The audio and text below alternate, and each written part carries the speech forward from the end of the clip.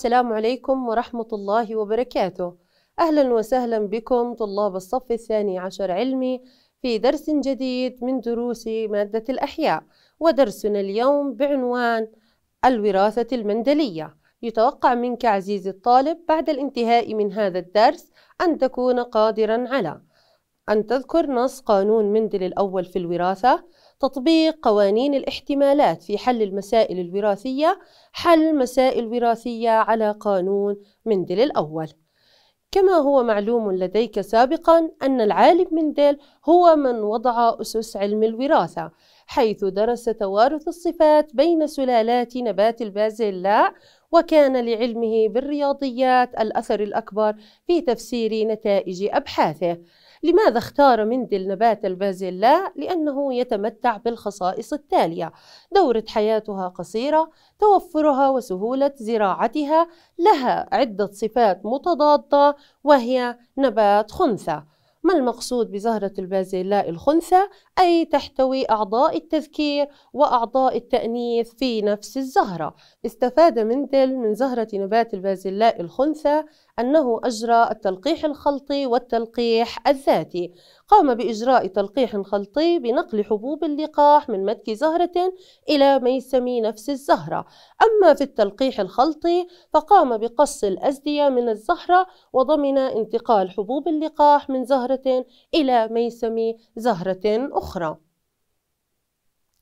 هذه بعض الصفات المتضادة التي تجتمع في نبات البازلاء قام مندل بدراستها فمثلا قام بدراسة البذور بعضها أصفر والبعض الآخر والصفة الأخرى المتضادة لها خضراء.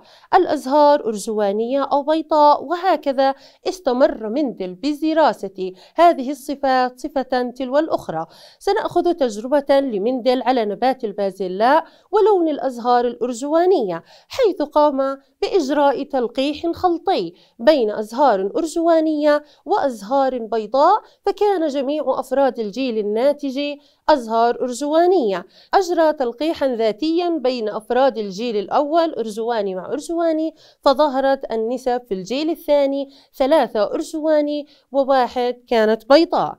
استنتج مندل من تجاربه أن الصفة الوراثية الواحدة يتحكم بها أليلان. وزوج وزوج العوامل هذه تنفصل عشوائيا لتكون الجاميتات أثناء الانقسام المنصف وفي كل مرة نحصل على انقسام لهذه العوامل كما تلاحظون في جميع التزاوجات. خرج مندل بقانونه الأول وهو قانون انعزال الصفات ينص على أن زوج العوامل المتقابلة أو الأليلات للصفة الوراثية الواحدة تنفصل عشوائيا عند تكوين الجاميتات أثناء عملية الانقسام المنصف. هنا عندنا الصفة الوراثية الواحدة يتحكم بها زوج من الأليلات وزوج من العوامل تنقسم عشوائيا لتكون الجاميتات. هناك صفات سائدة يرمز لها بالرمز آه، حرف كبير. وهناك صفات سائدة غير نقية يرمز لها بحرف كبير وحرف صغير حيث يظهر أثر الصفة السائدة ويختفي أثر الصفة المتنحية.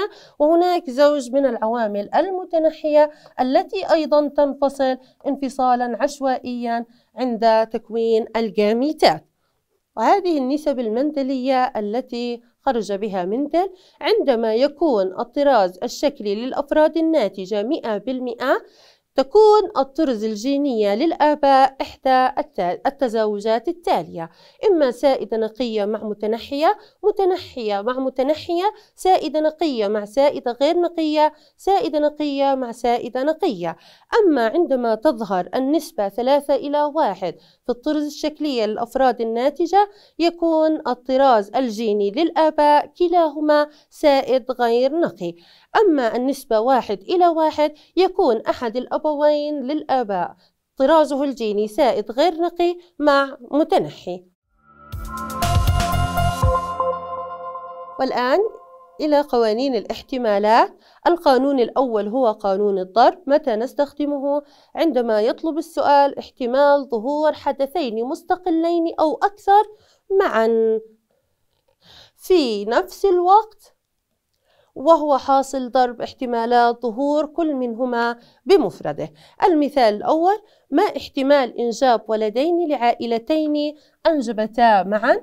عندنا العائلة الأولى احتمال أن تنجب ولد هو نصف العائلة الثانية احتمال أن تنجب ولد هو نصف.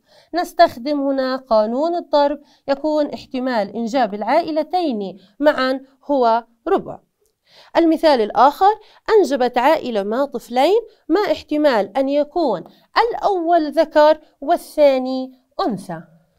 هنا في هذا السؤال رتب لنا الأحداث لذلك سنستخدم قانون الضرب احتمال أن يكون الأول ذكر هو نصف وأن يكون الثاني أنثى هو أيضا نصف. لذلك سنستخدم قانون الضرب عند ترتيب الأحداث فيكون الاحتمال هو ربع. أما بالنسبة لقانون الجمع نستخدمه عند احتمال ظهور أحد الحدثين على وجه الحصر إما أحدهما أو الآخر ولكن لا يظهران معا في الوقت نفسه. مثال قررت عائلة إنجاب طفلين. ما احتمال أن يكون أحدهما ذكر والآخر أنثى؟ هنا عندنا احتمالان احتمال أن يكون الأول ذكر والثاني أنثى. هو نصف مع نصف والاحتمال الآخر أن يكون الأول أنثى والثاني ذكر. إذا سنقوم بعملية استخدام القانون الجمع هنا ربع زائد ربع سيكون الناتج ربعان أي الاحتمال هو نصف. القانون الثالث ومجموع جميع الاحتمالات الممكنة في فضاء عيني لأي تجربة يساوي واحد. إذا كان احتمال ظهور نبات بازلاء طويل الساق 75% ما احتمال ظهور نبات قصير الساق؟ هنا يجب أن يكون احتمال طويل الساق زائد قصير الساق معا يساوي واحد صحيح أي مئة بالمئة. إذا كان طويل الساق هو خمسة وسبعين بالمئة يعني قصير الساق ستكون خمسة وعشرين بالمئة. لدينا المثال التالي ما احتمال ظهور الطراز الجيني g g small في أفراد الجيل الأول لأبوين طرازهما الجيني G capital g small؟ في البداية الطراز الجيني للآباء هو G صفة غير متماثلة الجينات مع صفة غير متماثلة الجينات. أما الطرز الجينية للجاميتات لجاميتات الأبوين مع G capital g small الطرز الجينية للأفراد الناتجة تكون G capital G capital G capital g small G capital g small g small g small الطراز الجيني المراد معرفة احتمال ظهوره هو جي جي إذا سيكون عندنا الاحتمال هو ربع من الناتج الظاهر. لدينا المثال التالي. أجري تلقيح بين نباتين ثم جمعت البذور وزرعت فكانت أفراد الجيل الناتج كما يلي 123 نبتة ملساء البذور 38 نبتة مجعدة البذور.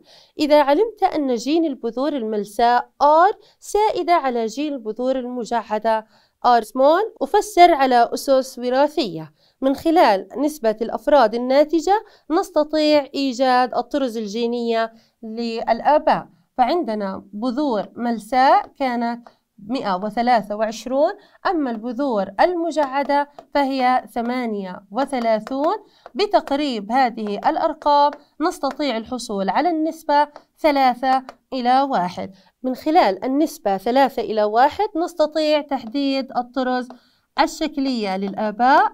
والطرز الجينية أيضا للآباء. عندنا الصفة السائدة هي أملس البذور مع أملس البذور. والصفة كانت غير نقية لكلا الأبوين.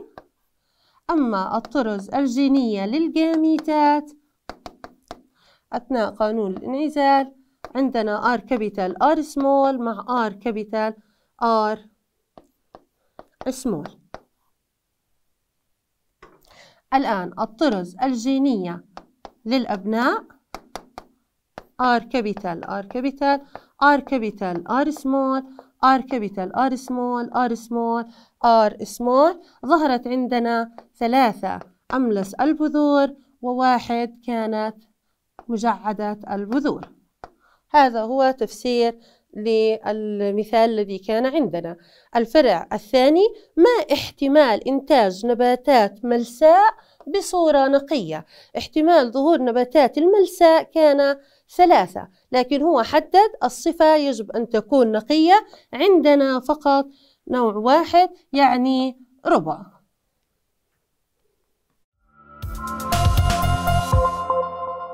وصلنا إلى المهمة التعليمية.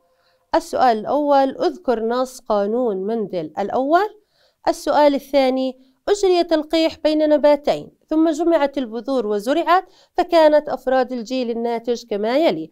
92 نبتة طويلة الساق 29 نبتة قصيرة الساق. وصلنا إلى نهاية الموقف التعليمي لهذا اليوم. إلى لقاء آخر ودمتم بألف خير.